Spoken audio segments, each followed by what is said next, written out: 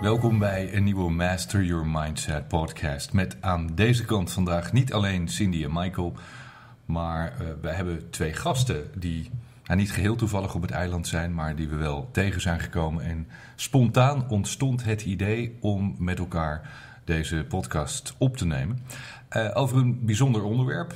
Het gaat namelijk over verslaving. Verslaving op uh, allerlei gebieden. En als ik dan even naar mezelf kijk, dan denk ik dat ik daar wel als uh, ervaringsdeskundige ook een beetje over kan meepraten. Um, voor de mensen aan de andere kant, kun je jezelf heel even voorstellen? Mijn naam is Veronica Ries. Ik ben uh, landelijk projectleider van Stichting Naast en initiatiefnemer van het platform Help Mijn Dierbare is Verslaafd.nl. En ik doe dit werk omdat ik zelf verslaafd in herstel ben. En aan de andere kant, Patricia? Patricia Zegwaard. Ik ben uh, voorzitter van Stichting Naast. Dat doe ik samen met Veronica. En ik ben ook directeur bij Ready for Change. Dat is een verslavingsinstelling, ambulante verslavingszorg in Rotterdam. Jullie hebben van het helpen van mensen met verslavingen en mensen die daarmee te maken hebben, dus de, de naasten daaromheen, heb je je werk gemaakt. Ja. Dat doen jullie al heel lang, toch? Ja, ik inmiddels uh, sinds 2007. En ik sinds uh, vijf jaar, dus sinds 2013. Het aardige hoe wij bij elkaar zitten vandaag is dat uh, Cindy kent Veronica al jaren. Jullie ja. hebben samen gewerkt. Ik werkte ooit in een café op de Negenstraatjes, dat heette Blond en Blond. En dat paste perfect bij mij. Uh, het was een geweldige tijd, een soort, soort eet, lunchcafeetje. Was het ook omdat jullie allebei blond waren? Nee, en er was, nog een, derde, er was nog een derde blonde. Okay. Ja, en, en, als je daar ging solliciteren, dan moest je blond zijn. Nee, behalve, behalve Claire, die, die had elkaar. Um, maar op een dag kwam uh, Veronica binnen. En toen zei ze, ja, ik, ik ga afkicken. En het was voor mij echt nieuw. Ik, was, ik denk dat ik een jaar of 18 was. En ik heb daar echt niks van doorgehad. Als een soort kuikertje liep ik daar rond. En ja, ik zag wel hoe de, hoe de Blond en Blond ons café uh, soms afterparties had gehad. En dan kwam ik zondagochtend binnen en dan stond alles er nog. En ja, het ging niet altijd helemaal goed, de, de zaak. En, en ja, maar jij, jij werkte bij Blond op Blond? Ja. En dat was jouw kroeg? Klopt. Maar je was heel jong, hè? Dus ja. goed om te vertellen. Ja, mij ik was, was uh, 21 toen ik uh, begon met Blond en Blond. En uiteindelijk was dat een beetje de katalysator naar het einde. Ik was 24 toen ik de kliniek inging. Oké, okay, maar je was 21 toen je een kroeg begon. Uh, nou, dat is best wel, hè, als ondernemer ben je, dan, ben je er vroeg bij. Ja. Niet iedereen doet dat. Waarom een kroeg? Nou, dat is eigenlijk heel makkelijk uit te leggen. Ik uh, woonde samen met mijn compagnon, uh, ook een blonde dame. En um, op een avond uh, zaten we bij elkaar en toen hadden we zoiets van... nou, eigenlijk moeten we gewoon voor onszelf beginnen. Waar zijn we goed in? In de kroeg zitten. Wat vinden we leuk? Zo. In de kroeg zitten. Dus wat gaan we doen? Een kroeg beginnen. Oké, okay. nou, op zich een, een heel plausibel verhaal natuurlijk. Uh, maar als ik jullie zo goed begrijp, heb je drie jaar lang die kroeg gehad. Ja. En daarna ging het niet helemaal goed, maar dat verhaal ga je dan zo, zo wel vertellen. Uh, Patricia, Patricia Zegwaard en ik kennen elkaar ook al 30 jaar, bijna, zo'n beetje. Uh, nou, via uh, allerlei contacten kwam ik in contact met jouw vader. En jouw vader is voor mij, uh, heb ik ook in mijn boeken geschreven, altijd heel belangrijk geweest. zakelijk heb ik heel veel van hem geleerd. En als ik beter naar hem had geluisterd, dan was het ook beter met me afgelopen. Ja. Wim, de vader van Patricia, zei toen ik een enorme schuld had, later. Ik weet nog wel dat ik, ik ging naar je vader toe, omdat ik, ik had heel veel geld nodig. Toen zei ik van Wim, mag ik 2 miljoen van je lenen? En uh, nou, dat verhaal is inmiddels wel bekend. En Wim heeft mij toen geholpen door mij niet te helpen, door mij geen geld te geven. Dat heeft hij me later uitgelegd ook, dat hij, uh, dat hij me daarmee heeft geholpen. En daar heeft hij gelijk in, want als je mensen helpt die geldproblemen hebben... Uh, maar niet met geld kunnen omgaan, dan help je ze eigenlijk niet. Dus hij heeft mij op die manier heel erg geholpen. En en jullie werken nu samen en zo hebben de paden elkaar weer gekruist en komen we elkaar uh, allemaal tegen. Ik vind dat jullie mooi werk doen.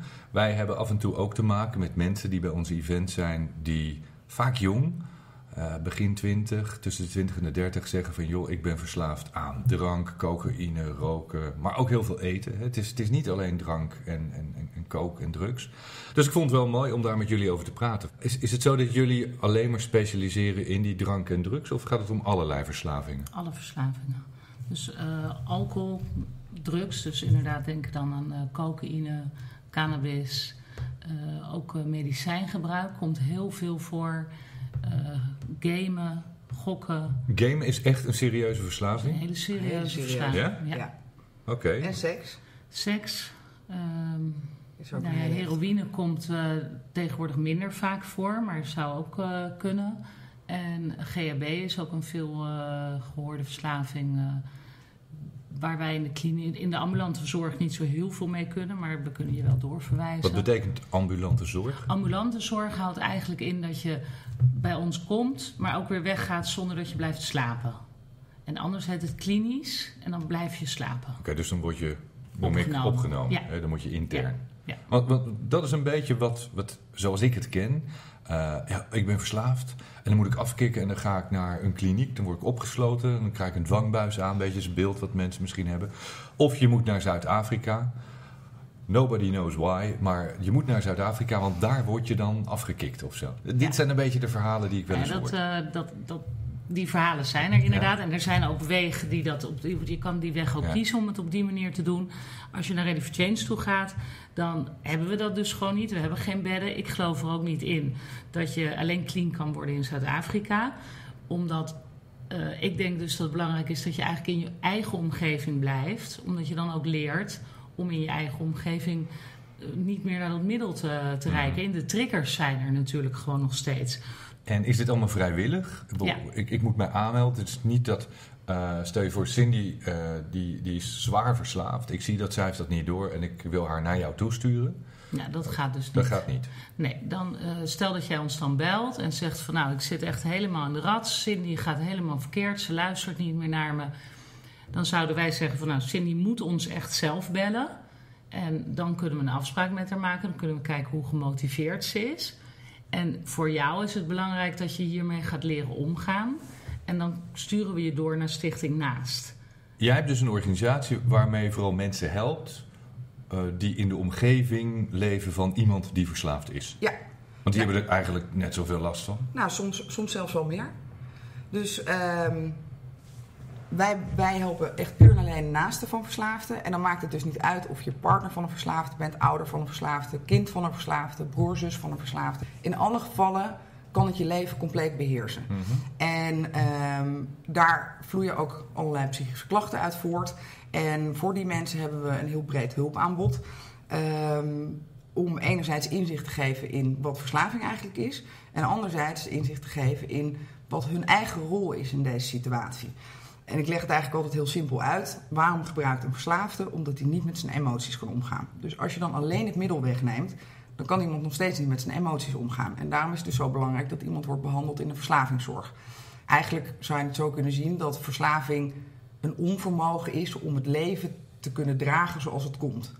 En um, dat moet je leren. Dus er moet iets tegenover gezet worden als je stopt met het middel. Er zijn heel veel mensen die ons bellen en die heel blij zijn omdat hun verslaafde dierbare al drie weken niet gedronken heeft. Maar dat is helemaal niet de oplossing van het probleem. Het weghalen van het middel alleen is niet de oplossing van het probleem. En um, dat is wat we eigenlijk inzichtelijk maken, dat daar de focus niet op moet liggen. Dus de focus moet veel meer liggen op uh, dat die verslaafde de negatieve consequenties ervaart van zijn gedrag, zodat de noodzaak ontstaat om dat gedrag te veranderen. En dat geldt natuurlijk niet alleen voor een verslaafde, dat geldt eigenlijk voor alle mensen. Als jij geen negatieve consequenties ervaart van je gedrag, waarom zou je dat gedrag dan veranderen? En dat is eigenlijk hetgene waar je als naaste een soort van invloed op kunt uitoefenen. Dus jij kunt zien die niet de kliniek in krijgen, maar je kunt wel bepaalde dingen veranderen waardoor het proces versneld kan worden. Wat is eigenlijk een verslaving? Wanneer bepaal je of iemand verslaafd is aan iets? Dat je gebruik je leven dusdanig negatief beïnvloedt dat het onhandelbaar wordt. En wat is onhandelbaar? Banen kwijt, huizen kwijt, gezinnen kwijt. Uh, maar dat kan ook wel zoiets zijn als dat je dus zoveel drinkt dat je je rijbewijs kwijt bent, zodat je niet meer naar je werk kunt of je kinderen niet meer naar school kunt brengen. Of... Echt van, van grote invloed Ja. met, met consequenties. Ja. Stel je voor, ehm, ik kijk even naar mezelf, een paar jaar geleden. Ehm, eh, stel je voor, je drinkt een liter of drie alcohol per dag. Maar je hebt er helemaal geen last van. Het is best wel gezellig en leuk. Ik zou zeggen, van, nou, die gozer is, is toch een soort van verslaafd, want dat doet hij elke dag met regelmaat. Maar het heeft geen nadelige consequenties. Althans, niet in de, eh, zoals jij het noemt, in, in de omgeving, in het gedrag. Natuurlijk lichamelijk wel. Ik lag ook wel eens met koppijn op bed de volgende dag. Maar het was niet dat ik dacht van, goh, ehm, ik ben verslaafd. Mensen worden ook niet zomaar verslaafd. Mensen kunnen wel eh, eh, middelen misbruiken naar aanleiding van een bepaalde situatie. Dus er is iets ergs gebeurd en daarna zijn ze even heel veel gaan drinken om, om daarmee om te kunnen gaan. Maar wat je eigenlijk vaak ziet bij verslaafd is dat ze van jongs af aan al anders zijn. Dus al een, een andere manier hebben om met het leven om te gaan dan andere mensen. Eh, en vaak ontwikkelt zich dat door de jaren heen. En dan op een gegeven moment gebruikt iemand middelen om daarmee om te kunnen gaan. Ehm, dus het is, het is nooit zo dat iemand een zorgeloos leven had tot zijn veertigste en toen ineens verslaafd werd. Maar zeg je dan dat het eigenlijk eh, min of meer aangeboren is? Ja. Ja? Ik denk dat er eh, een bepaald element in zit wat genetisch bepaald is. En eh, ik denk dat er, dat er gewoon een bepaalde kwetsbaarheid zit. Kijk, ik ben verslaafd. Maar ik heb echt niet een hele traumatische jeugd gehad. Ik ken mensen die echt een veel vreselijke jeugd hebben gehad. En die zijn niet verslaafd. Dus Mhm. het is niet... ehm, Ik kan dat statistisch niet zomaar aantonen van die wel, die niet. Ik ben benieuwd, Veronica, wanneer voor jou het moment was dat je dacht: nu is het klaar, nu heb ik hulp nodig. Nou, dat is eh, wel echt een goede vraag, omdat zoveel mensen op zoek zijn, zoveel naasten op zoek zijn naar dat, waar is dan dat punt bij die verslaafde. hè? En voor mij was dat een, een, echt een emotionele bodem. In de verslavingszorg hebben we het dan over dat je je rock bottom moet bereiken. Om eigenlijk vanuit daar ontstaat pas echt die kracht om je leven om te kunnen gooien. Eh, en bij mij was het gewoon echt een heel, heel op, puur alleen op emotioneel vlak. Ik had alles nog. Ik had de zaak nog, ik had mijn vrienden nog, ik had mijn familie nog. Maar ik kon gewoon niet meer. Het was zo. Ik gebruikte dat eh, middel, die alcohol en die drugs en alle toestanden eromheen, gebruikte ik om het leven vol te kunnen houden. Maar ik kon gewoon niet meer, omdat het dus echt puur en alleen maar eh, op, op dat middel was waardoor ik het volhield. Ja, wa- waren er mensen, ik heb niks doorgehad. Maar nogmaals, ja, ik, Een beetje naïef eh, misschien, Dat is heel naïef, ik denk dit ik. zo Weet hoor. je, dat ik kwam, niet zoveel. ik kwam net uit het dorp, maar ik ben benieuwd of, of vrienden van jou, je familie, eh, door hebben gehad. Of wel eens hebben gezegd van, nou Vrone, hey, je gebruikt nu wel wat veel. Of, of viel het eigenlijk als een soort anonieme gebruiker? Anonieme gebruiker. Ik was altijd al een beetje een gekkig kind. Er was altijd eh, een soort eh, spanning en sensatie bij mij. Dus, dus iedereen gooide het een beetje daaronder. En vooral die laatste jaren was het voor mij heel makkelijk om dat een beetje te, ja, te verbergen. Want als jij de middagshift draaide bij mij en ik dronk twee wijntjes, nou dan was dat natuurlijk allemaal niet zo heel gek. Ja. En, maar jij wist niet wat ik dan s'avonds nog ging doen. En de mensen die s'avonds gingen werken, die wisten niet dat ik overdag ook al wat zit te drinken. Dus zo kan je dat natuurlijk heel lang volhouden.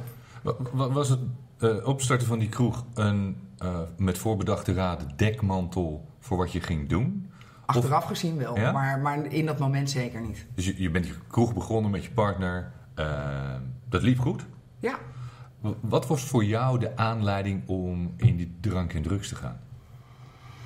dat was niet een bewuste keuze. Dat was. eh, Is het iets dat, dat gebeurt? Ja, ik was 14 en, en toen begon het afwijkende gedrag al. Dus dan gingen we in een tussenuur naar de, naar, de, naar de middelbare schoolkroeg. En dan bestelde iedereen een kopje thee en ik bestelde een wijntje.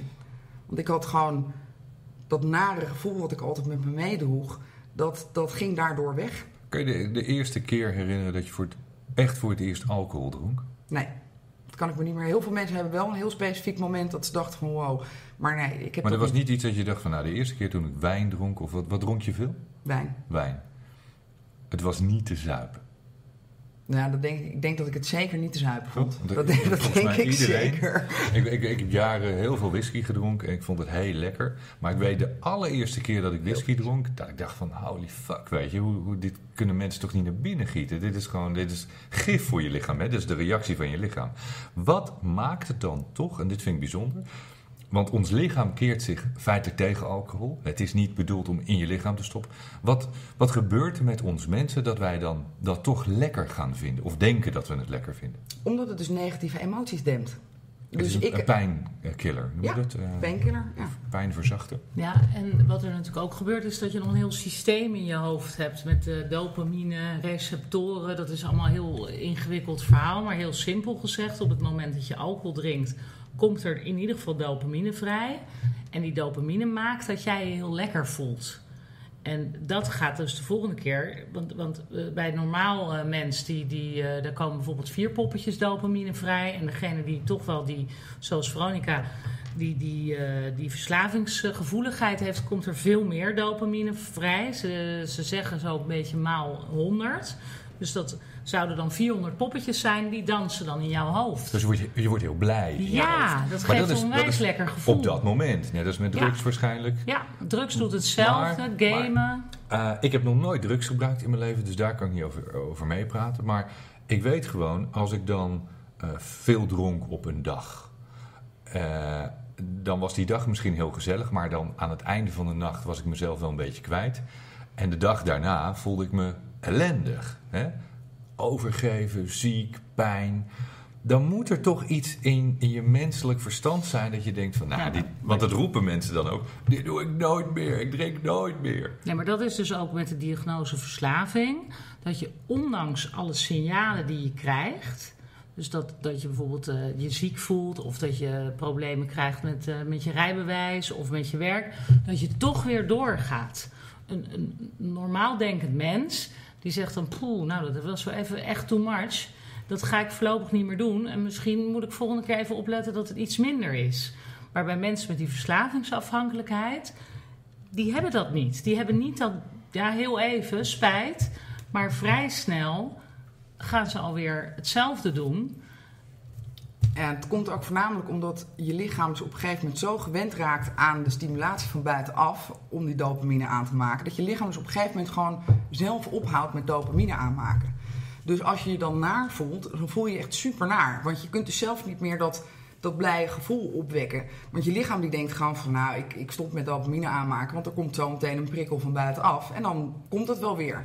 En dat is ook waarom die, die zucht zo sterk is. Dus dat, dat nare gevoel is dan zo vervelend. En je kunt het dus zelf niet wegnemen. Dus dan neem je dus een middel van, van buitenaf. Is dat dan ook waarom je eh, af en toe je heel weemoedig of depressief gaat voelen als je gedronken Ja. of drugs hebt genomen? Dan, soms, Ja, hoe noem je zeker. dat zo'n moment daarna? Ja, de dinsdagdip. eh nou ja, dat zie je vooral bij ecstasy-gebruik. Wat natuurlijk ook niet goed voor je is. Maar dat is in, nou, wij zijn er niet tegengekomen dat er mensen zijn die elke dag ecstasy gebruiken. Dus dat, maar, maar bij cocaïne. en- Ecstasy zijn pillen? Ja. ja. ecstasy zijn pilletjes. Dat zijn de pilletjes wat je hoort mensen in festivals. eh, Iedereen slikt dit. ja, nou ja, Ja, iedereen ja, laat ja, ik maar ik even... hoor dat dan heel ja, vaak. ja, ja, ja. Dus vond de- volgens mij ook eh, van de week weer in de krant dat eh, ecstasy en cocaïne tegenwoordig eigenlijk zo normaal worden dat eh, ja, mensen die, die snuiven gewoon coke in de kroeg en waar je vroeger nog wel eens de moeite nam om even naar de wc te gaan, is het eigenlijk steeds meer normaler om ook op een festival gewoon een zakje pillen uit je broek te trekken.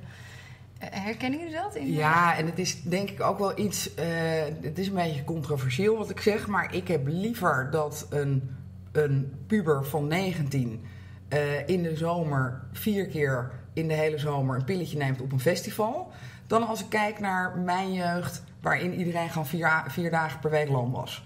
Want dan wil je echt liever dat iemand gewoon één keer een pilletje neemt. Want dat is gewoon, iedereen is met elkaar, je let op elkaar. eh, iedereen is water aan het drinken. Het is veel minder schadelijk op lange termijn dan, dan dat je dus gewoon zoals onze jeugd, hè, toen je nog mocht drinken onder de 18 en iedereen natuurlijk alleen maar aan het zuipen was. Maar dan wil ik er wel bij toevoegen dat eh, laten we absoluut niet promoten dat Nee. een pilletje nemen nou zo ontzettend goed is. Maar eh, als je het doet zoals Veronica zegt met, met water erbij. Maar je ziet dan heel snel dat de mensen die uiteindelijk bij Ready for Change terechtkomen. toch wel de mensen zijn die nemen en een pilletje. En ze staan te drinken. En ze zijn aan het snuiven. En ze zijn vervolgens alweer bezig met het volgende pilletje. Dus die hebben al die enorme drang met: ik wil niet stoppen. Dat is niet, ik neem een halfje en ik uh, doe verder heel veel water drinken en ik doe verder niet te gek. Dus daar, daarin zie je dan ook gelijk dat, dat zijn die mensen van een soort uh, ja, rupsje nooit genoeg. Ik blijf doorgaan. Hoeveel mensen zijn er eigenlijk verslaafd als je naar uh, officiële getallen kijkt? Qua alcoholisme heb je het ongeveer over, dacht ik, iets van 900.000 uh, alcoholisme. Mensen die buitensporig veel drinken en er last van hebben. Ja. Ja, overal zijn de cijfers nu uh, 1.250.000 verslaafden met alle verslavingen zonder rokers. Zijn, zijn dat toevallig zonder, zonder medicijnen, rokers? Ja. dacht ik. Nee, medicijnen ook. Medicijnen Maar zijn dat dan toevallig, oh ik leg zomaar de link, ook heel veel mensen die in een burn-out zitten? Want Ja. dat, is, dat is namelijk hetzelfde aantal. Nou, ik zeg niet dat alle mensen die in een burn-out zitten verslaafd zijn. Nee, maar ik weet wel uit de praktijk dat veel burn-out niet herkend wordt als een verslaving. Dus sowieso, sowieso dat de bedrijfsartsen en de, de huisartsen. En dat is niks ten nadele van deze hulpverleners, maar vaak niet het herkennen, omdat een verslaafde er ook een, gemotiveerd is om het niet te laten zien, omdat hij bang is. Dus het is heel moeilijk te herkennen. Is dit een gewoon een burn-out of is iemand dat die eigenlijk gewoon verslaafd thuis zit? En wij weten wel veel verhalen van mensen die dan zeggen: Ja, ik zat eigenlijk al een half jaar bij burn-out, maar ik vond het ook wel lekker, want dan kon ik gewoon de hele dag doordrinken. Ja, maar, want ik, ik, ik, herken dat ook wel een beetje. Je bent depressief, je zit in je burn-out. Ik had dat niet door. Hè. Ik, zat in een burn-out, de hele wereld om me heen zei: Mike, je hebt een burn-out. Ik dacht: fuck you, weet je. Ik, ik geloofde daar niet in. Maar ik begon steeds meer te drinken. En ik denk als gevolg van, want ja, ik voelde me ellendig. Nou, dan wilde ik me of nog veel ellendiger voelen, of juist niet. Is dat wat jullie herkennen bij mensen die jullie helpen? Ja, bij ons komen veel van dit soort mensen. Wij hebben zeker in de avondbehandeling. Dat zijn ook vaak nog mensen. En in jouw geval was je dan wel thuis. Maar wij hebben ook wel veel mensen die toch nog in een baan zitten. Ja, die eigenlijk gewoon heel, eh, heel veel zelf heel veel eh, schade hebben. Dus gewoon emotioneel. Dus die hebben dan nog de baan. De huwelijk is er ook nog wel. Maar ze houden het nog maar allemaal net in, in stand. En die komen dan bij ons terecht. En als je aan dat punt voorbij bent, dan kom je wel. Dat als je dan je baan kwijtraakt, 9 van de 10 wordt dan wel de burn-out genoemd. We hebben het vandaag in de podcast over eh, verslavingen op allerlei gebied. Drank, drugs, roken, eh, gamen, seks, eten. Eh, je kan volgens mij aan alles verslaafd zijn. Kun je aan geld verslaafd zijn? Zeker. Maar geld is dan denk ik meer eh, aanzien en macht. Dus, dus dat, dat Maar alles heeft met emoties te maken. Want dat noemde je net 100%. ook. Ja, absoluut. Want als we daarnaar teruggaan. Jij zei, je kunt eh, iemand wel drie weken niet laten drinken... of drie weken geen drugs laten gebruiken... maar daarmee is het probleem niet opgelost. Nee. De- de- hoe noemde je dat nou? Het middel kun je wegnemen, Ja, maar de pijn zit er nog eigenlijk. Hoe, hoe herken je dat en wat, wat doe je daar dan aan? Nou, ik denk dat het veel zelfinzicht vergt om, om dat ook echt zo te kunnen zien. Ehm, en, en daar zit ook een beetje het probleem. Inherent aan verslaving is eigenlijk dat de verslaafde de laatste is die het inziet. De blinde vlek. Dat is de blinde vlek. Ja. Dus ehm, het is een, de verslaafde die moet die rock bottom bereiken om hulp te willen zoeken. En wat die rock bottom is, dat is dus voor niemand te bedenken. Hoe was het voor jou dan? Nou ja, het was een opeenstapeling van van alles. Ehm, ik, ik had mezelf een soort leven aangemeten om ehm, ja, mijn, mijn echte pijn niet te voelen. Dus mijn grootste pijn was ik Je was 3,24. ja, mijn grootste pijn was ik ben anders, ik hoor er niet bij. En hoe ik daar, dan heb je eigenlijk drie manieren om daarmee om te gaan. Eh, vermijden, bevestigen of overcompenseren. En ik was een echte overcompenseerder, dus wat ging ik doen? Ik ging van alles doen om er wel bij te horen, om wel gezien te worden. Maar dat kost natuurlijk onwijs veel energie, want dat is eigenlijk helemaal niet wie ik ben. Ik ben eigenlijk helemaal niet zo sociaal en kan eigenlijk helemaal niet zo goed tegen heel veel prikkels. En dus ik had mezelf een leven aangemeten wat ik fysiek en emotioneel helemaal niet vol, volhield. Ik heb ook wel eens gehoord van de AA. Ja. En de NA heet het Klopt. tegenwoordig. Ja. Is dat wat jij ook gedaan hebt? Ja, de AA staat voor Alcoholics Anonymous, de NA staat voor Narcotics Anonymous. En eh, dit zijn zelfhulpgroepen waar verslaafden elkaar helpen clean te blijven. Door ervaring, kracht en hoop te delen. En, eh, ik En denk- werkt dat? Ja, enorm. enorm. En eh, het is over de hele wereld, miljoenen mensen blijven clean door naar deze zelfhulpgroepen te gaan. Ehm, ja, het is, niks is zo helpend als een verslaafde die een andere verslaafde helpt. Want niemand weet zo goed hoe je je voelt als een andere verslaafde. Dus het is zeker uh, iets wat je naast de verslavingszorg absoluut moet blijven doen. Maar jij hebt het ook gedaan? Ja, het is iets wat, uh, wat ik nog steeds doe. En wat bedoel je met nog steeds doen? Ik bezoek nog steeds deze zelfhulpgroepen. En hoe, vaak, hoe vaak doe je zoiets dan? Nu één keer in de maand, maar okay. de eerste twee jaar ging ik bijna iedere dag. Ja, ik, ik ken, wij, wij kennen mensen, via jou kennen wij mensen, die doen dat elke dag, een paar keer per week. We zijn ook mee geweest en ik was heel erg onder de indruk. Ik vond het heel mooi om bij te zijn. Dat woord, want jij zei het taboe, Patrice, maar dat is natuurlijk wat je een beetje uit films kent van... Uh, ik had het ook, hè, we kwamen binnen hier over pizza en uh, we gingen zitten zondagochtend. Ja, het is altijd een beetje achteraf. Wel eens een beetje zoals je het in de film herkent. En dan is het van, uh, hello, my name is Michael. Hi Michael. hi, hi Michael. en, en ik zit er dan, hi, my name is Veronica, I'm an addict. Hi Veronica. Ja. ja. En, ja. en mensen doen daar lacherig over. Nou ja. Maar het, het maakte indruk op mij en het heeft me echt geraakt. En ik voelde die kracht en je voelt nou ja, dat er niet wordt gelachen. En dat je gewoon kunt zijn wie je bent en dat je dat gewoon kunt vertellen. En ik vond dat mensen hele mooie verhalen vertelden over hun problemen van ooit, lang geleden, soms een maand geleden en hoe ze daar nu mee omgaan. Uh, ja, ik, ik, ik snap dat dat heel erg waardevol kan zijn voor mensen. Nou, wat, wat, wat goed is om te weten is, de, de, de basis van de AA is eigenlijk dat je zelfinzicht krijgt. Dus dat je altijd leert kijken van wat is mijn aandeel in deze situatie en hoe kan ik verantwoordelijkheid nemen voor dat aandeel in deze situatie. En dat is denk ik wat ik, wat ik er zo mooi aan vind, is dat op het moment dat je naar die zelfhulpgroep gaat um, en, en de twaalf stappen doorloopt, de twaalf stappen is zeg maar het gedachtegoed van de AA. Uh, en dat is eigenlijk een soort ontdekkingsreis door jezelf. Dus uh, stap 1, 2 en 3 gaat over dat je dus toe, toegeeft dat je een probleem hebt en dat je het niet in je eentje kunt oplossen. In stap 4 maak je je levensverhaal en ook een resentment list. Dus dan ga je een lijst maken van alle mensen die jij iets kwalijk neemt. Maar tegen de tijd dat je in stap 9 bent, dan ga je een mens maken. Dus dan ga je verantwoordelijkheid nemen voor de schade die je berokkend hebt in je verslaving. En vaak is dus de lijst van de mensen waar je excuses aan gaat bieden dezelfde lijst als in stap 4. He, dus in die tussenliggende stappen ga je dus inzien dat eigenlijk iedereen die jij iets kwalijk neemt, dat je daar zelf een aandeel in hebt. En, en dat vind ik er mooi aan dat eigenlijk zou iedereen dat moeten doen. Ja, dat wilde ik net zeggen. want dit is zelfinzicht en bewustzijn. En dan komt het weer op ons gebied. Want dit is natuurlijk waar we continu mee bezig zijn. En waarvan ik denk, verslaafd of niet, dat veel meer mensen dit zouden moeten doen. Omdat heel veel mensen niet weten dat ze allerlei problemen hebben. Ze ervaren wel problemen. Iedereen heeft, laten we, het is niet generaliserend bedoeld, maar iedereen heeft emotionele problemen. Op zijn eigen gebied, in zijn eigen leven. Iedereen heeft wel iets. Dat heet leven. Maar de meeste mensen zijn er niet mee bezig. Zoals jij het nu vertelt, feitelijk zou je één keer per jaar zo'n lijstje moeten doorlopen.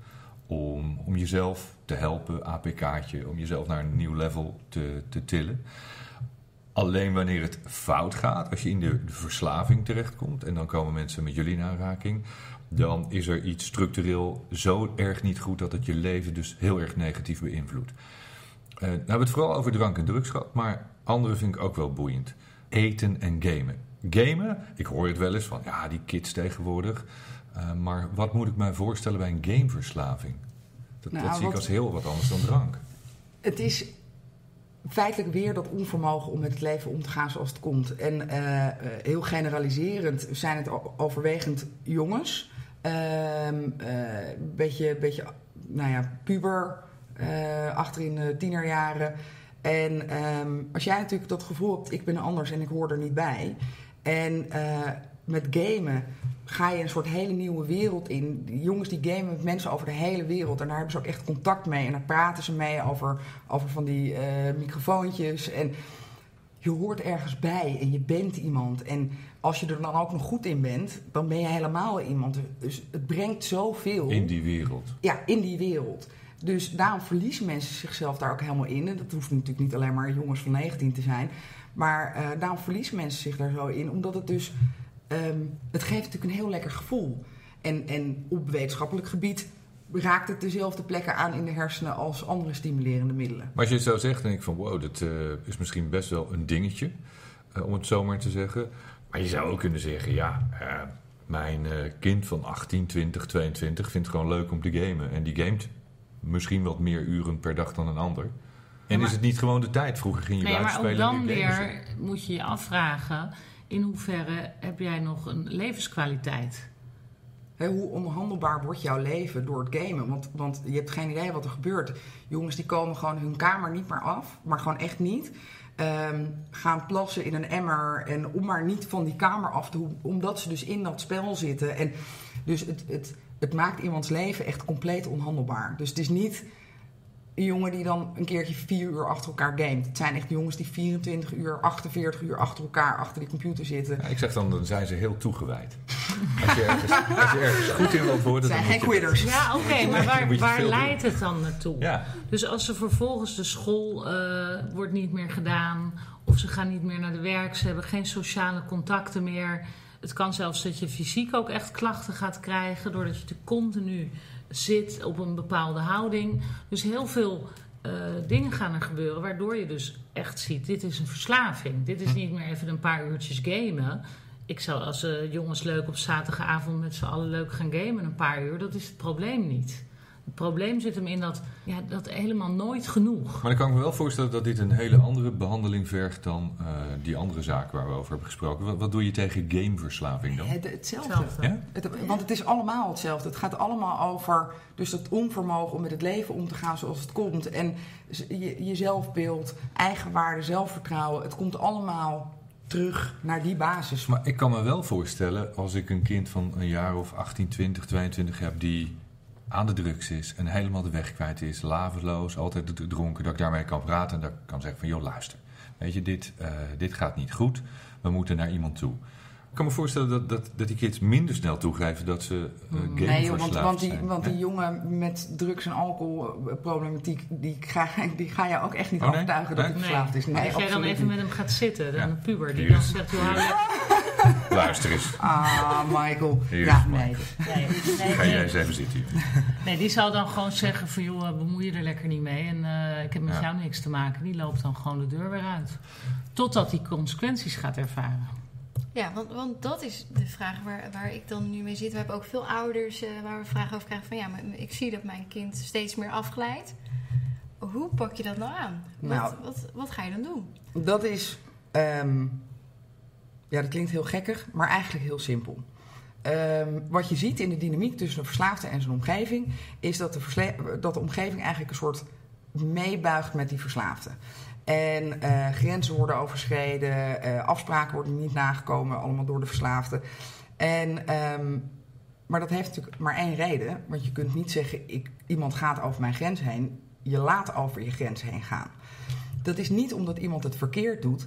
Dat komt omdat de verslaafde alles doet om zijn verslaving in stand te kunnen houden. Dus ehm, Bewust of onbewust? ik denk onbewust. Dat En op, sommige, gewoon. ja, en op sommige momenten bewust. Maar ik- het is niet dat een verslaafde 's ochtends wakker wordt en denkt... zo, nou ga ik eens even iedereen pijn doen in mijn omgeving. Dat, zo gaat het natuurlijk niet. Maar dus er zit af en toe wel een bewuste gedachte achter... van nou, als ik nou dit zeg, dan krijg ik dat voor elkaar. En dat betekent... Dus bijvoorbeeld als een jongen, een verslaafde jongen tegen zijn moeder zegt... als jij echt van mij zou houden, dan zou jij nu wel al mijn schulden afbetalen. Ga dan maar eens niet die schulden afbetalen als moeder. Hè, dus, dus het is een, een dynamiek die zichzelf steeds verder vastdraait. Wat Patrice haar vader bij jou heeft gedaan. Juist. Juist. Ja, Eigenlijk, En dat was ook waar ik hem om Ja. steek. Natuurlijk, ja. Door, door niet te helpen. Door niet te helpen, help je echt. Ja, maar dat is natuurlijk heel, heel lastig. Want ga je dan, ja, je ziet je zoon of, of dochters die steeds meer afglijden, of misschien je partner. Zet je die dan uit huis? Of, of hoe, ja. Nee, er zijn nog heel veel stappen ervoor. Dat is natuurlijk de grootste angst van alle naasten van Ja. verslaafden. En eh, het begint eigenlijk allemaal met duidelijke communicatie. Bij iedereen in het leven, maar bij, bij verslaafden al helemaal. Ehm, heel veel naasten van verslaafden die roepen bijvoorbeeld dingen als... als jij het nog één keer te bond maakt, dan is het klaar. Miscommunicatie nummer één. Want wat is dan te bond en wat is klaar? Dus jij hebt als naaste dit idee... Nou, ik heb echt even goed op mijn strepen gestaan hoor. Nou weet je wel... eh, Maar er gebeurt niks. Nee, want, want wat, wat is dan jouw interpretatie van klaar? En wat is jouw interpretatie Ah, van maar dan nog, ik herken dit bij, bij mensen. Eh, eh, Je kunt dat wel roepen, maar dan gebeurt het dus weer. En dan denk je, nou ja, laat maar. Want die penalty die gaan ze nooit geven. En dus ervaart de verslaafde nooit negatieve consequenties van Nee, zijn endra- dus er is gedrag. geen pijn. En dus ontstaat er ook geen noodzaak Maar- om dat gedrag te Maar veranderen. dit is eh, wat Cindy ook bedoelt. Weet je, ehm, er is iemand in, in een gezin, in een familie, die, eh, die is verslaafd. Aan wat dan ook.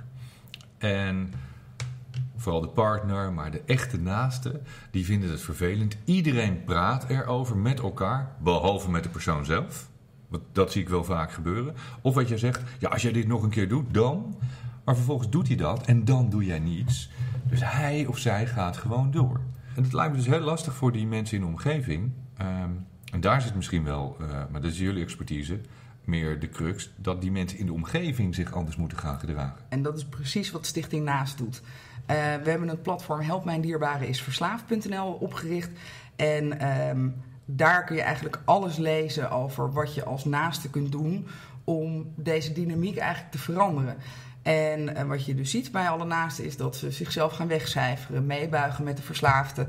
En wij geven dus eh naasten dit inzicht. Van hé, hey, wat, wat doe jij nou eigenlijk? Dus we brengen de situatie in kaart. We onderzoeken wat jouw rol in die situatie is en wat je valkuilen zijn. En op basis daarvan gaan we kijken, wat heb je nodig om de regie weer terug te pakken over je eigen leven? Want dat is wat er gebeurt. De verslaafde beheerst jouw hele leven. En wij gaan dus kijken van hoe kun jij je eigen leven weer onder controle krijgen? Hoe kun je zelf weer achter dat stuur gaan zitten? Met als uiteindelijk doel natuurlijk dat het weer goed komt voor degene die ergens verslaafd aan is. Nee, Nee? het doel van wat wij doen is, het, is ervoor zorgen dat de levenskwaliteit en het levensgeluk van de naaste constant blijft, ongeacht het gedrag van de verslaafde. Je hebt namelijk geen controle over het gedrag van de ander. Nooit. Dus je kunt als organisatie ook niet zeggen van nou, wij gaan ervoor zorgen dat als jij nou je gedrag verandert, dan verandert de verslaafde met je mee. De psychologie is nou eenmaal dat als jij je gedrag verandert, dan verandert je omgeving ook. Maar we kunnen natuurlijk nooit zeggen wat de uitkomst is. Want wij kunnen niet in iemands hoofd kijken van nou, als jij nu je gedrag verandert, dan gaat die verslaafde zich op laten nemen. Dus je kunt daar niet op anticiperen. Dus het uitgangspunt is het welzijn van de naaste. Met als bijkomend voordeel dat de kans ook groot is dat die verslaafde hulp gaat zoeken, omdat hij dus echte consequenties gaat ervaren van zijn gedrag.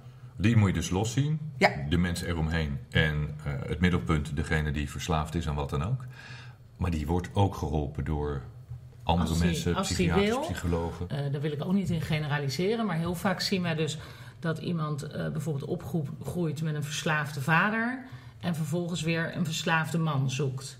En dan met een beetje pech raakt het kind ook nog verslaafd. En dan is het voor zo iemand heel belangrijk om eigen levenskwaliteit weer te krijgen. Want die weet echt niet meer, als je aan diegene vraagt hoe gaat het dan met jou, dan gaan ze binnen één minuut het hebben over hun vader, hun man of haar kind. Maar kunnen totaal niet meer vanuit zichzelf spreken. Jij werkt in Rotterdam. Ja. Jij werkt in? Het hoofdkantoor van Stichting Naast is in Amsterdam, Ja. maar we zitten inmiddels door eh, vijf steden in heel Oké, Nederland. want dat vroeg ik me af. Eh, nou zit ik ergens ver weg, eh, ver weg van waar jullie zitten en, en, en er is toch een probleem. En dan kan ik me ook voorstellen, ja, ik ga niet elke dag naar Rotterdam of elke week naar Rotterdam of Amsterdam. Hoe, hoe, moet ik dat doen, dan doen voor die Nou, ja, mensen? die verwijzen we, verwijzen we door. Dus eh, de naaste kunnen wij altijd helpen. Want we bieden ook telefonisch advies. En we bieden individuele begeleiding. eh, die ook eh, via Skype, FaceTime of WhatsApp videobellen gedaan kan worden. En, ehm, en dan kijken we ook altijd van nou, wat is dan passende zorg als de verslaafde in hulp wil. Dan gaan we altijd kijken van wat is dan passende zorg eh, in de desbetreffende regio waar diegene woont. Of een klinische opname op een andere plek in Nederland. Want als je gewoon een maand naar een kliniek gaat, dan kan het ook ergens anders in Nederland. Ik denk dat heel veel mensen verslaafd zijn aan eten, ongezond eten, dat niet doorhebben. En daarom is meer dan de helft van de wereld, en ook in Nederland, ik heb dat cijfers vorige week weer gezien, eh, overweight tot, tot echt bijna obesitas. Begint echt dramatische eh, hoeveelheden aan te nemen. Eh, wat doe je met mensen met eetverslaving? Persoonlijk denk ik nog steeds dat dat precies op dezelfde manier kan. Want je begint ergens aan en je kan er niet meer mee stoppen. En daarna wordt je leven onhandelbaar. Dus het is, het is precies hetzelfde. Als ik goed luister, zeg je: het maakt dus niet uit wat het is. Eten is misschien makkelijk, omdat het voor iedereen veel toegankelijker is. En als je veel gaat eten, is het niet direct dat je alcoholverslaafd bent of aan de drugs bent. Maar je bent wel 30 kilo te zwaar. En dat heeft ook te maken met Psychische klachten. psychische klachten. Ja. Het heeft allemaal te maken met het omgaan met je eigen emoties, dat dus niet kunnen. En je dan verliezen in een of andere verslaving. Kan het ook goed komen, is natuurlijk wel een hele belangrijke. Want Nou. eh, als ik nu naar jou kijk. Eh, hoe lang geleden is dit nu? Tien en een half jaar geleden. Tien jaar ben je helemaal clean. Ja. En clean betekent dat je dus niet meer drinkt, geen alcohol, geen drugs, helemaal niks. Totale abstinentie. Dus dan, dan is er een dag geweest, wat de eerste dag van die tien jaar was. Kan je teruggaan naar dat moment? Ja, dat is eh 15 oktober 2007. En ehm ja, er was gewoon weer van alles gebeurd. En, en wat ik het ergste vond, was dat ik... Ik werd ochtends wakker en ik had heel vaak blackouts. En van die nacht kon ik me gewoon letterlijk niets meer herinneren. Alleen, ehm, het was niet altijd dat er hele rare dingen gebeurden als ik een blackout had. Maar soms was het al, als ik drie wijntjes had gedronken, kon ik me al niet meer herinneren wat er gebeurde. En eh, die nacht was er wel iets ergs gebeurd. En ik, dat voelde ik, maar ik wist dus niet meer wat. En ik heb echt van drie uur s'nachts tot zeven uur s ochtends geprobeerd te bedenken wat er dan gebeurd had kunnen zijn. En, en dat, was, dat was echt mijn bodem. Want ik dacht, ik wil nooit meer dit meisje zijn. En, en toen heb je de beslissing genomen. Ja. Want dat is het. Je moet een beslissing nemen om te stoppen. Ja, maar echt met volle overtuiging. Dus ik ben ehm, naar de zaak gereden. Ik heb ehm, een verslavingszorginstelling gezocht. En eh, nou, daar kon ik heel snel terecht. Dat was ook om de hoek van mijn zaak. En dat is misschien ook wel een mooi voorbeeld van waarom ambulante behandeling heel goed is. Ik zat overdag in de kliniek en s'avonds stond ik gewoon bier te tappen in mijn eigen kroeg. Terwijl ik gewoon echt een alcoholist ben. En Was. was. Nou ja, wij zeggen dus ben. Ehm, dus ik ben nu verslaafd in herstel, zoals dat heet. Ehm, wij zien het zo dat, dat ik ben altijd verslaafd. Alleen nu in herstel. Maar ik vind het dan zo knap. hè. Je, je hebt tien jaar niks gedronken. En dan gaan wij, eh, straks gaan wij ergens naartoe en dan liggen we gezellig ergens op een strandje. En dan, dan drinken mensen in jouw omgeving drinken alcohol. En jij niet. Ja. Ik denk dat andere mensen dan ook denken, god, dat vind ik knap. ja, en dat zie ik echt helemaal niet zo. Omdat ik, voor mij is het een cadeau dat ik nooit meer hoef te drinken... in plaats van een straf dat het nooit meer mag. Maar het is ook niet, want je weet hoe het is. Ja, ik kan echt uittekenen hoe het is. Dus- Ik kan nu dat gevoel nog terughalen wat ik had op 15 oktober Maar 2007. dan denk je niet, nou, één glaasje. Nee. Nee, nee, omdat ik dat dus ook helemaal... eh, die jij- behoefte jij- is er niet. Jij gaat ervan uit, vanuit een normaal referentiekader, dat ik dus die behoefte zou hebben. Maar Ja. ik heb dus die behoefte helemaal niet. Oké, dit vind ik interessant. Hoe kan die behoefte er nu niet meer zijn? Omdat ik weet waar het voor staat. Dus, Dus dat is een keuze. dat is een keuze. Ja, Hele ik, bewuste weet, keuze. ik weet waar, waar, waar die alcohol toe leidt. En, en, en wat er dan vervolgens daarna allemaal gebeurt. Dus de pijn is zo extreem groot dat je die commitment hebt gemaakt van dat nooit meer. Ja, maar wel met dus hele uitgebreide begeleiding. Natuurlijk, En, natuurlijk. Anders en- zou het niet zo ingewikkeld zijn. Maar dat is die, die, die beslissing komt in die rock bottom. Dus echt dat, dat moment dat ik dacht, ik wil nooit meer het meisje zijn wat ik nu ben. En dat is waarom ik het volhoud. Maar dat, ik zie het dus niet als knap. Ik zie het meer als een vanzelfsprekendheid. Het is een andere levenswijze, een andere Ja. levensstijl. Ja. Eh, kun je dit één op één vergelijken met roken en stoppen met roken?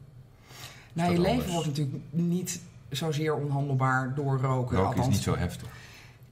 Als je longkanker krijgt, dan wordt het redelijk onhandelbaar natuurlijk. stop je en, ook met roken. en de mensen die twee pakjes per dag roken, dan wordt het natuurlijk ook onhandelbaar. Omdat je hele leven wordt beheerst van ik moet nu roken en je werk gaat eronder lijden. Maar het is wel, het is wel anders. Het heeft minder nadelige gevolgen, directe Ja, nadelige gevolgen. nou, het is, het is eh, qua, qua stof eh, een van de verslavendste stoffen die, die er zijn. Dus Nicotine. ja, dat komt echt na de heroïne.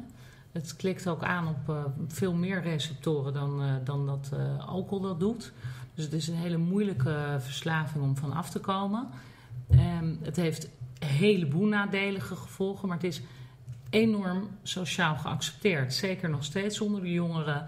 En het wordt toch nog steeds overal verkocht. Ja, in die zin, er wordt ook niet vergoed door de zorgverzekeraar als jij morgen komt afkicken van roken. Terwijl ik denk, als we daar eens met z'n allen mee stoppen, denk ik dat de gezondheidszorg ook iets minder gaat kosten. Dus in die zin denk ik dat het een heel goed eh, idee zou zijn. Maar het heeft veel minder. eh, dit is niet dat je je baan kwijtraakt, of je rijbewijs, of je vrouw opeens in Nee, elkaar dus het is slaat. niet zo of- ernstig. Nee, ja. Wat ik overigens wel Emotioneel niet. Want, je- want je zegt, het is, het is na heroïne het meest verslavende. Eh, wij merken heel veel mensen die met onze programma's meedoen, omdat ik zo anti-roken ben. En ik heb jaren gerookt, weet je, maar ik ben er zo op tegen. Dat mensen op dat moment die beslissing nemen, zoals Veronica ook die beslissing heeft genomen, om vanaf dat moment niet meer te roken. Ja. En jij hebt hier verstand van. Kan je dat uitleggen? Dat als het zo verslavend is, hoe kan je dan een beslissing nemen dat je het niet meer doet? Nou, nicotine is sowieso binnen 48 uur uit je systeem.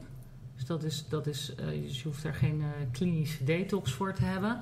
En ehm, op het moment dat het ehm, effect eigenlijk van het stoppen groter is dan het eh, effect van het roken, is het tussen aanhalingstekens vrij makkelijk om te stoppen. Maar, we Maar dat is dus bewustzijn. ja, bewustzijn. Maar we noemden er net heel kort. Als je eenmaal longkanker hebt, stop je wel. Ik heb helaas veel, ben ik bij Daniel de Hoed kliniek geweest. En ik zou echt de mensen niet kunnen tellen die buiten staan met hun infuusje en de chemotherapie die ze net gehad hebben. Die gaan echt naar buiten om te roken. En dan kan je dus automatisch zeggen, zo erg is verslaving. Want anders doe je dat niet, dan stop je. Ieder normaal denkend mens gaat natuurlijk niet buiten met zijn infuus voor het Daniel de Hoed met een sigaret in zijn mond staan. En dan zeg je het al, normaal denken. Ja, dus het dat is is ook zo- een relatief begrip natuurlijk. Maar iedereen moet het lekker zelf doen, dood ga je toch. Nou Eh, ja, de manier waarop is wel ernstiger. En eh, het, is, het is echt voor iedereen aan te raden om te stoppen. Ja. Het is mooi hoe jullie hiermee zijn begonnen. Eigenlijk toch door, door een samenloop van omstandigheden. Het, het, het, ja, wat, er op je pad is gekomen. Eh, iemand die je tegenkomt, die verslaafd is. Je hebt het zelf meegemaakt. Waardoor je eh, voor jezelf een keuze hebt gemaakt. Daar heb je weer een keuze om andere mensen te gaan helpen. Jullie doen dat nu al heel lang. Duizenden mensen geholpen, denk ik wel. Hè? Echt Ja. vele duizenden mensen geholpen. Zie je of hoor je er nog wel eens wat terug van mensen dat het weer goed gaat met ze? Ja, wij krijgen regelmatig eh, mailtjes of berichtjes, gewoon een briefje. Zeker, ja, heel leuk vind ik dat rond de kerst. Eh, kerstkaartje met, eh, nou, ik wil je toch even laten weten. En dan zeker aan de behandelaren die ze hebben gehad. Het gaat goed, eh, onze levenskwaliteit, mijn levenskwaliteit is beter. Ik ben inmiddels vader geworden. Of gewoon gave verhalen. Ja, het is echt levensveranderend. Levenskwaliteit Ook- verhogend. Ook de zorg voor naasten. Dus wij krijgen echt bij Stichting Naast heel veel ehm, verhalen terug na een jaar. eh, hoe het hun leven heeft veranderd. Hoe, hoe, eh, hoe soms ook wel dat, dat de verslaafde wel in behandeling is gegaan doordat de naaste grenzen is gaan stellen. Maar dat die naaste alsnog heeft besloten: ik wil dit helemaal niet meer, want ik wil alleen nog maar het beste voor mezelf. En dat is wel. ehm, niet dat het geweldig is dat een relatie kapot gaat, maar het is wel heel mooi dat iemand zo zichzelf op nummer 1 gaat zetten. Dat, dat, dat is wel echt ja, ons doel. En dat is te gek als dat bereikt wordt. Ja, jezelf in het middelpunt van je eigen leven zetten. Nog even vind ik dan gewoon leuk voor mezelf om te weten. Hoeveel dronk jij eh, toen? dat is leuk ter afsluiting. Waar moet nou, ik was denken? zelf een gastenafnemer bij Blond en Blond. Dat was zeg maar één ding wat zeker was. Ik kon echt rustig drie flessen wijn op een dag drinken. En dat ging dan gezellig zo de hele dag door. Want gezellig lekker wit wijntje met iedereen die binnenkwam. Heel leuk. En dan kon ik ook zeker s'avonds nog wel na sluit een gin bitter lemon of drie erachteraan gooien. En als het dan helemaal bal was, dan kon ik ook nog wel een beetje cocaïne snuiven. Mooie tijd was dat. Mooie tijd was dat, hè? Doos voor de D's, Cindy. Hey. Ja. Wel een rol gehad in ieder geval. Ja, dat als ik, dat als ik dit zo hoor hè, van jou, dan denk ik van... eh, ja, dit was mijn leven ook. ja, ik weet nog dat ik... eh, voordat ik met dit werk begon, dat ik eh, me begon te verdiepen in allerlei dingen... zoals neurofeedback en eh, eh, neuropsychologie. En toen was ik bij een arts om onderzoek te doen... Eh, en toen gingen ze mij testen op van alles. En toen vroeg die dokter aan mij, 2011 was dit, dus ik zat midden in deze periode die jij nu beschrijft. Hoeveel drinkt u? Ik zei, nou, eh, drie flessen. En die man eh, die schreef op, eh, ah, hij, zei, hij zei ook nog, oh, dat is best, eh, best fors, eh, drie flessen per week. ik zeg per week.